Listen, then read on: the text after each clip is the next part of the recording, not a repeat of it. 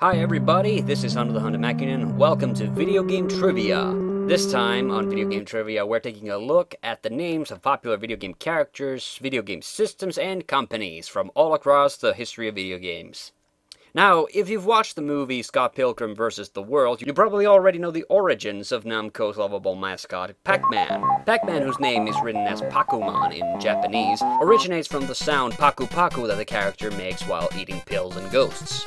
Originally, Namco was going to localize the character's name as Puckman, but concerned that the arcade cabinets could be easily vandalized into saying something else, decided to go with an alternate translation of the name, Pac-Man.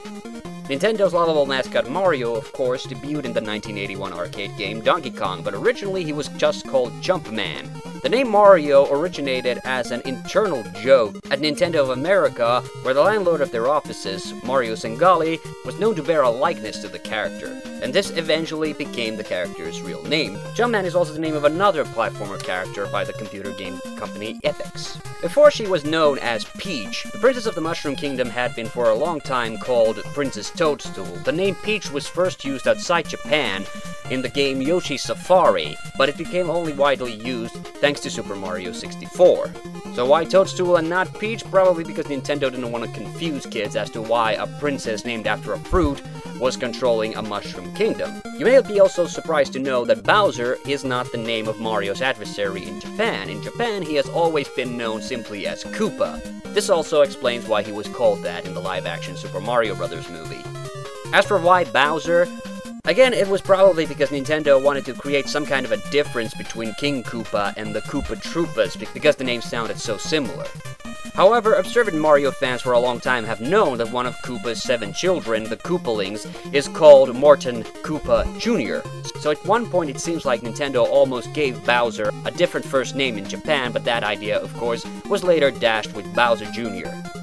Mega Man is called Rockman in Japan. The name, of course, originally comes from simply adding the word man to Mega Man's original name, Rock, which is the same in all regions. The reason Capcom ended up changing the name because they couldn't copyright the name Rockman when the game was originally localized in 1987. Zelda, the Princess of Hyrule, and the star of her own eponymous series, was named after Zelda Fitzgerald, the wife of F. Scott Fitzgerald, and also a notable writer in her own right. However, The Legend of Zelda was originally the subtitle of the first Zelda game, which was called The Hyrule Fantasy, but the Hyrule Fantasy part was dropped in later sequels. The comedian and actor Robin Williams was actually such a huge fan of Zelda that he ended up naming his first daughter after the character.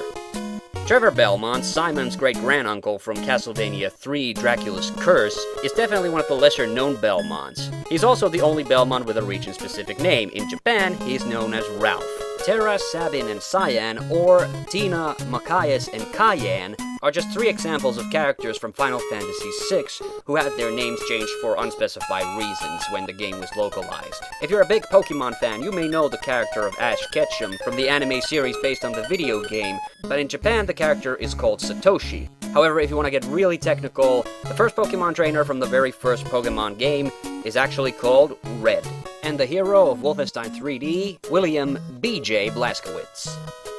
Next, let's talk about the alternate names of games and systems. Now, it may not surprise you that much why Konami wanted to rename Akumajo Dracula into Castlevania, since Evil Demon Castle Dracula would have sounded kind of out of place on a system intended for young audiences.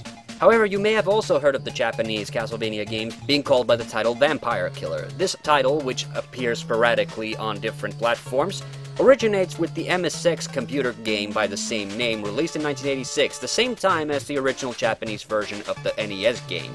Now, I released two games that were practically the same with different titles. I believe this was because Konami was hedging their bets. They wanted to see which version of the game sold better so that they would continue releasing the games under that particular name. And, and of course, because Nintendo still had that three-year exclusivity clause in their licensing contract. And which is also why probably Haunted Castle, the only Castlevania arcade, needed to have a different title when it was released. And rather surprisingly, it was the NES version that sold much better, which I stress has not always been the case. It's very rare for a piece of hardware to be renamed specifically for the North American region, but this is what happened with the Sega Mega Drive. If you lived in Europe or Japan, that's the name you knew it by. In North America, it was released under the title Sega Genesis because Sega couldn't copyright the name Mega Drive. The Nintendo Entertainment System, or the NES, of course was originally called Famicom in Japan, Famicom coming from the words family computer.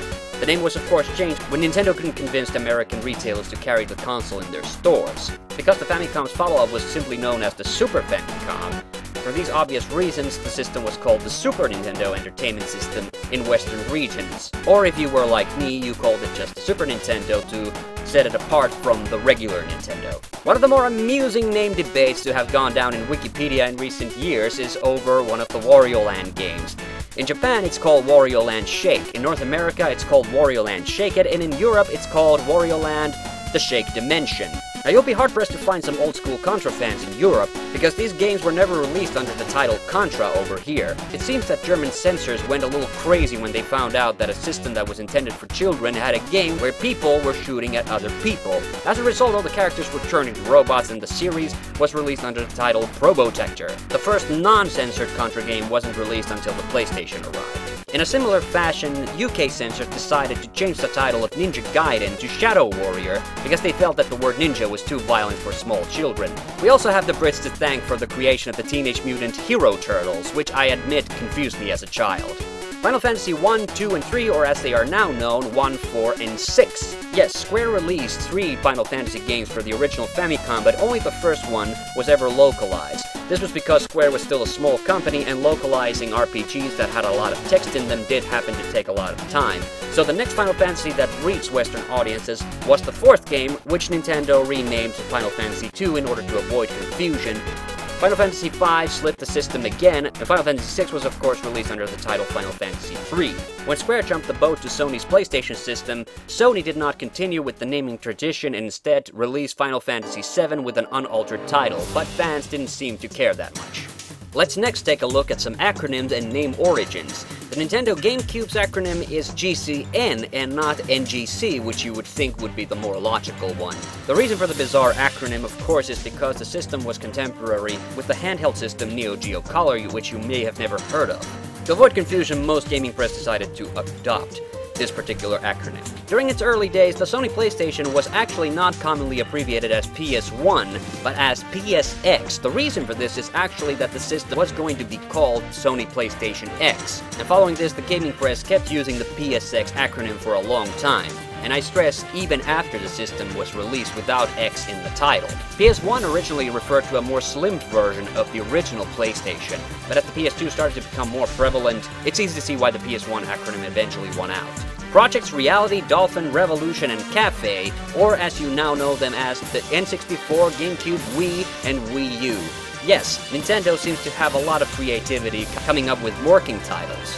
Before becoming the Sega Saturn, Sega's 32-bit system was originally going to be called the Sega Jupiter, obviously because the Sega 32X was originally supposed to be called Sega Mars. But when Mars was abandoned as a standalone system and just became the 32X add-on for the Sega Mega Drive, Sega changed the name to Saturn. Wolfenstein 3D, of course, was a monumental game in the FPS genre, but you might be surprised to find out that it actually stole its name from a much older game, Wolfenstein was an early 80s computer game with a very similar concept to Wolfenstein 3D and a childhood favorite of John Romero, which is where he openly stole the concept for the game.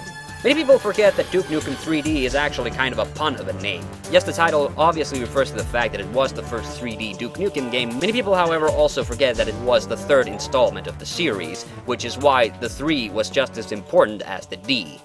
I could make an entire episode about Capcom's name changes, but here are just a few of the character and game name changes that they have done over the years. Mega Man 7 had quite a few of these. The green robot known as Otto was originally called Right-Todd or Light-Todd, depending on how you westernize the original name, a portmanteau of the words Dr. Light and Robot. Bass and treble were originally called Forte and Gospel. No official reason has been given why these characters' names were changed, but if I had to hazard a guess, this being Nintendo, they obviously were afraid of the religious overtones with the word gospel. Balrog, Vega, and Bison had their names circled around from their western release because Capcom wanted to avoid a lawsuit from Mike Tyson. and also because Capcom's US division didn't think Vega was a very good name for a final boss. Crashman and Clashman are both technically correct. Crashman is what the character debuted as in the original NES title Mega Man 2, in the Game Boy version, however, his name was romanized as Clashman, this due to the fact that R and L are the same letter in Japanese. Personally, I prefer Crashman. The groundbreaking survival horror series Resident Evil is known as Biohazard in Japan.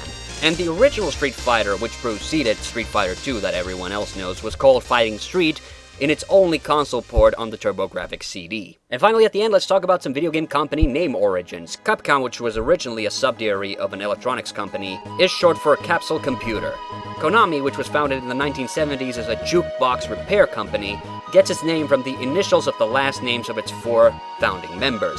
Microsoft's name, of course, is a portmanteau of microcomputer and software. Microcomputers, which had microchips in them, of course, are what ushered in the home computer industry. But did you know that Microsoft was originally written with a dash? Nintendo's name is actually an expression roughly meaning leave luck to heaven. Sega, which was founded in the 1950s in Hawaii, was a company that originally produced entertainment equipment for American soldiers stationed there, which is also where the company gets its name, Sega being the acronym for service games. Sony, who produces the PlayStation console, was originally called the Tokyo Telecommunications Engineering Corporation, or in Japanese, Tokyo Tsushin Kogyo. They got their start, unsurprisingly, as a producer of cassette recorders.